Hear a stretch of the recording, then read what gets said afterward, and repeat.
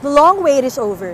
The Senate Electoral Tribunal rules in favor of Senator Grace Poe in the disqualification case filed against her by defeated senatorial candidate Rizalito David.